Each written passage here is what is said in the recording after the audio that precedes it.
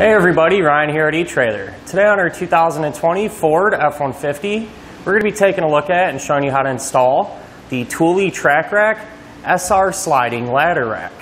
And to complete this kit, you are going to need to pick up some Thule TracRac base rails, which are sold separately.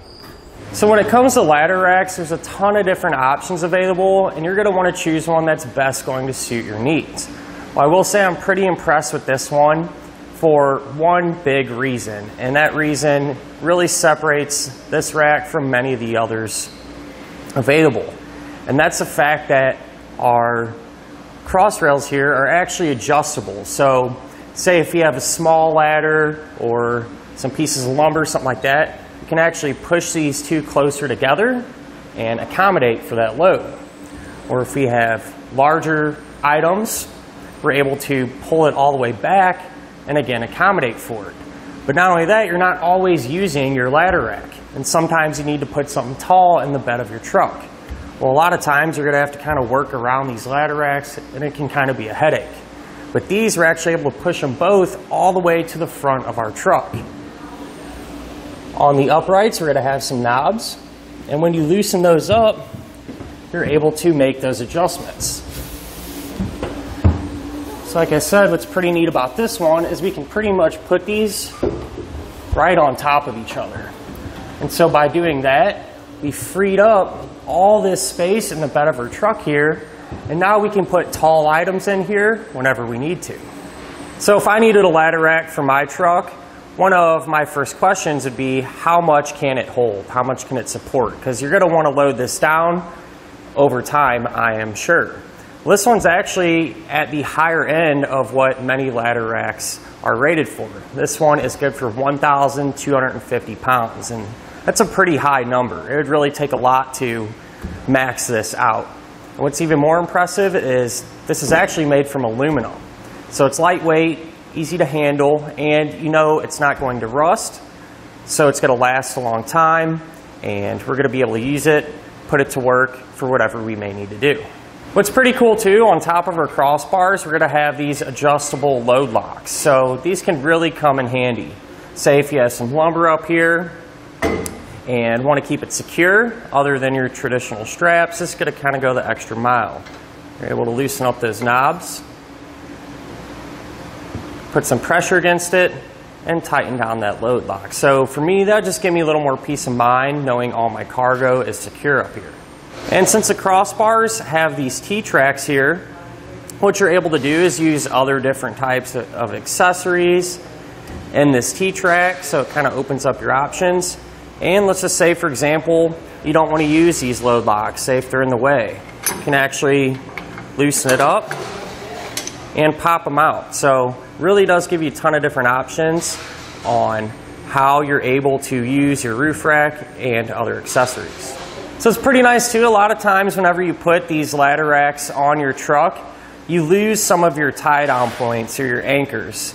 And what's pretty cool is Thule actually decided to put a cleat here on our upright. So it's really solid and gives us that additional tie down point that really does come in handy.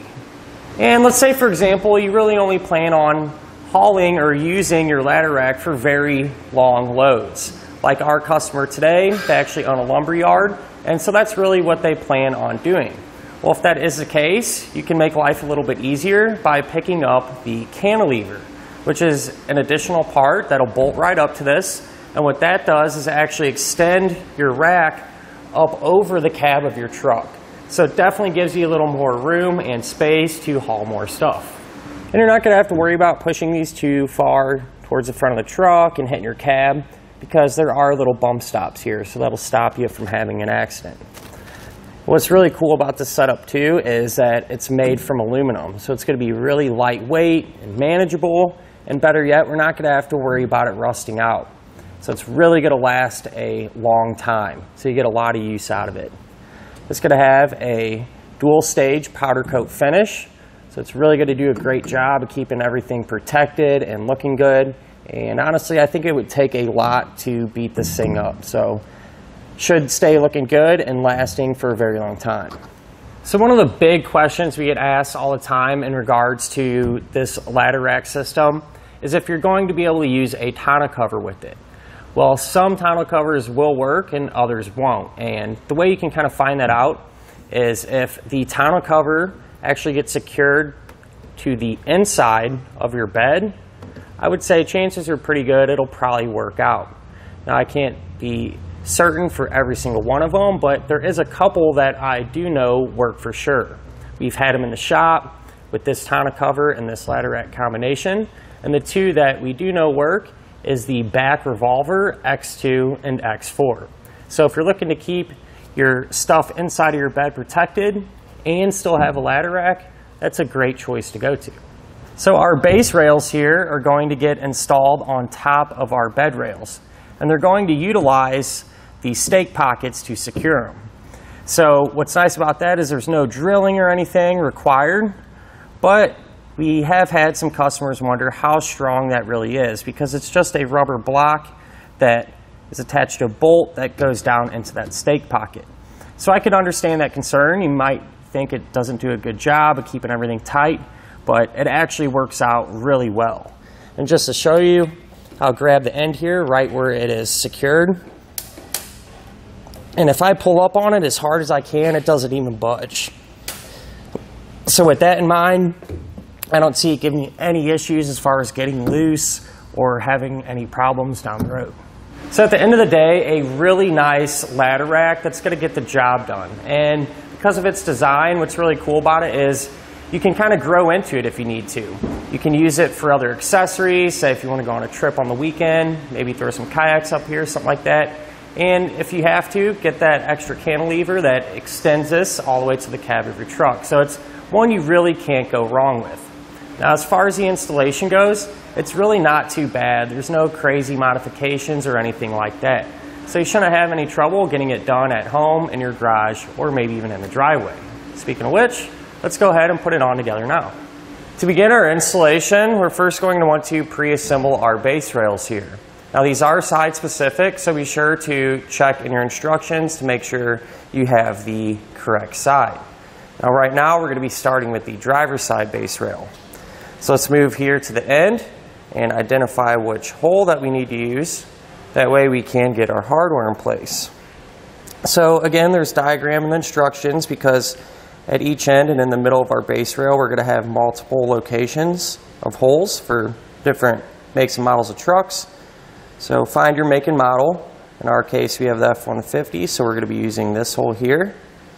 And what we're going to do is take one of these bolts and a plastic washer.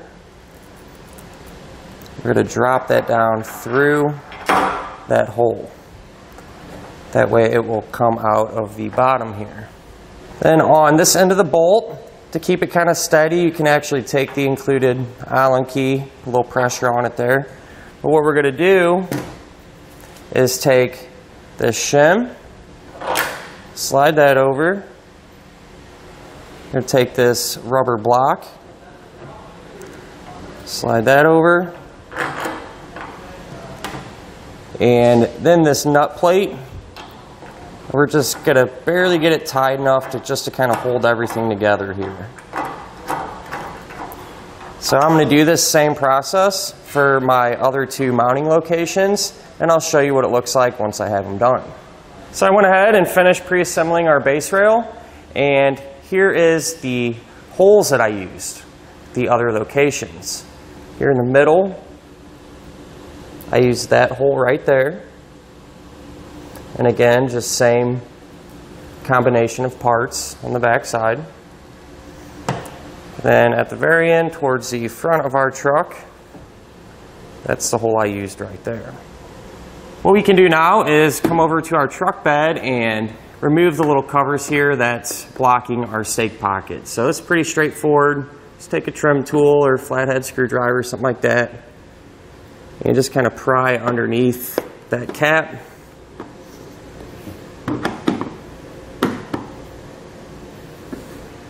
It'll simply just pop out.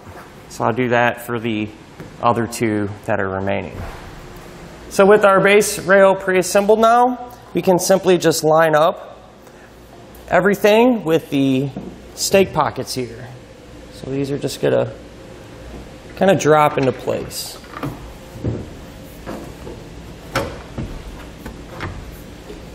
You may have to push down a little bit. This does fit a little bit snug.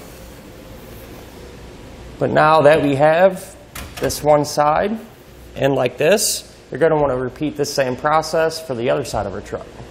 Now what I went ahead and did is made sure that our base rails are square and true. So I measured here at the front of the truck from this side to this side and then measured that same distance at the back of the truck and you want to make sure that the number is the same. That way you know it's the same distance apart here at the front of the truck as it is in the back. And that way we know it is square.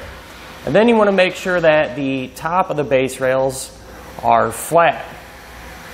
And to do that, you can either use a straight edge and run it across from side to side or use a level and make sure everything is leveled out. And if you're not level, what you can do is those plastic shims that we put on underneath our base rails, you can push those in or out to kind of adjust the pitch here of the rails. So once you're all square and true, you can come back into each stake pocket and tighten those nuts down. So once we have everything straight and where we want it, we can come back and torque all the hardware to the amount specified in our instructions.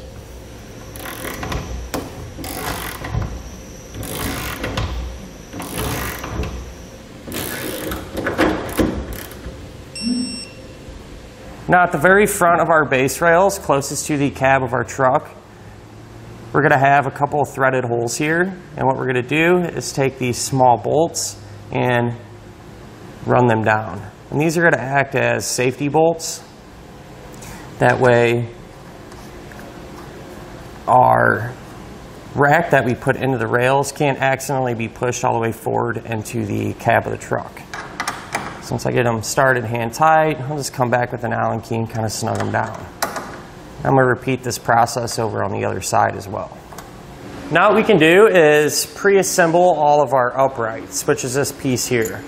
The first thing we're going to want to do is take our cleat and secure it to the upright. So you can see there's two threaded holes there. Those holes on our cleat will line up with it. So you just set that on top. Then you're going to take this Allen head bolt, drop it down through there.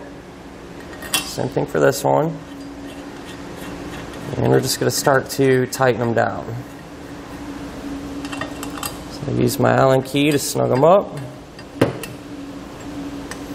And once I have them snug, I can come back with a torque wrench and tighten them down to the amount specified in our instructions. So once we have this torque down, we can move here to the top portion of our upright. What we're going to do is take one of these short bolts, put it in like this, and then we're going to take one of these square nuts and just barely get it started. Maybe about one turn just so the nut stays on. Do the same thing for this bottom hole. And once I have this on, you're just going to repeat the same process for the rest of your uprights. So now we can pre-assemble our crossbars. So the first thing you're going to want to do is make sure you lay it down flat with the bottom of the crossbar facing up towards you. You can identify the bottom because the bottom side is going to have two of these little fins here. With that being said, First thing we're going to work on is our corner braces. So the corner brace that doesn't have this raised edge, you want this flat edge, what we're going to do is take one of these small bolts, push it through, and again one of these square nuts, just get a couple of turns on it, and we're going to slide this nut into the track.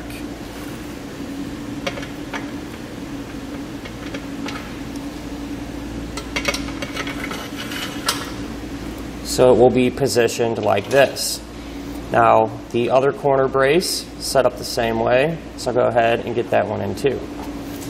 And from this point on, anything we do to one side, we're also going to repeat on the other side because it's all set up the same way. At this point, we can take our pre-assembled upright and slide it into the bottom of our crossbar. So it's going to work the same way as our corner braces. We're just going to get our square nuts started inside of the track.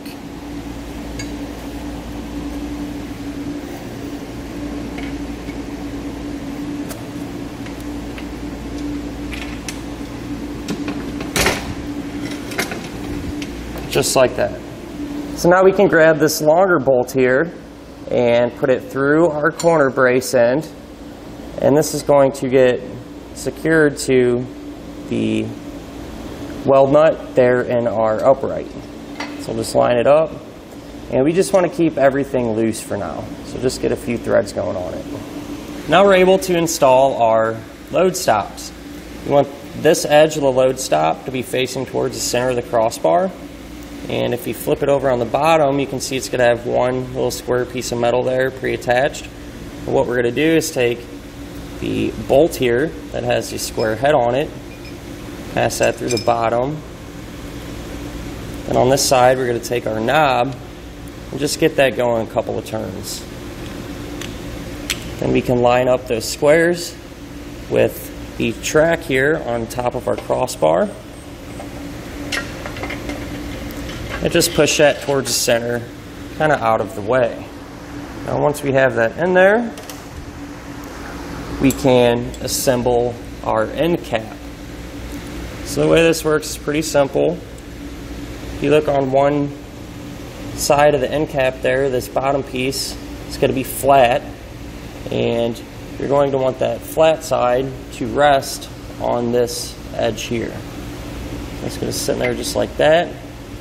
And if you see that threaded hole, it's going to line up with this hole right there and our crossbar. So we'll put that on. We'll take our small screw and get that tightened down. So now with an extra set of hands, we can slide in our whole assembly, starting with the front first. The upright is just going to simply slide on the outer track here on our base rail. So we'll line that up and get it going. And you kind of want to work this at the same time. If it gets hung up a little bit, you might just kind of have to give the crossbar a push one way or the other. But eventually we'll be able to work it all the way up towards the front of our truck.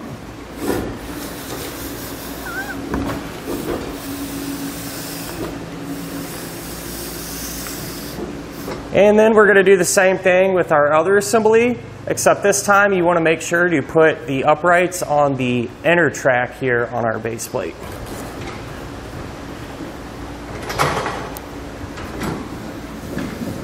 this time we'll slide it up maybe about halfway.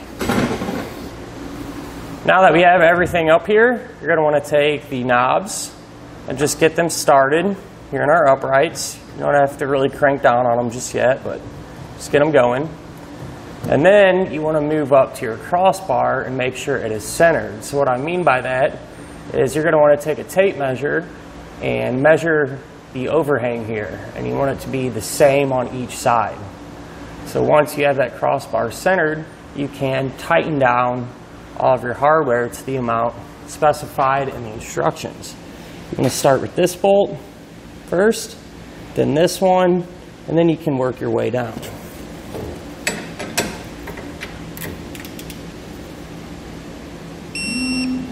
So now that we have all of our hardware tightened, if we look inside of our base rails, there's just going to be a series of holes here. And they do provide us with these little caps or plugs. So we'll just go ahead and pop all those in. These are straightforward. Simply just push them all the way down until you see them. And then on the ends of our base rails, we're going to take our little stopper screws thread them in, and just snug them down. And that'll finish up our look at and our installation of the Thule TracRac SR sliding ladder rack on our 2020 Ford F-150.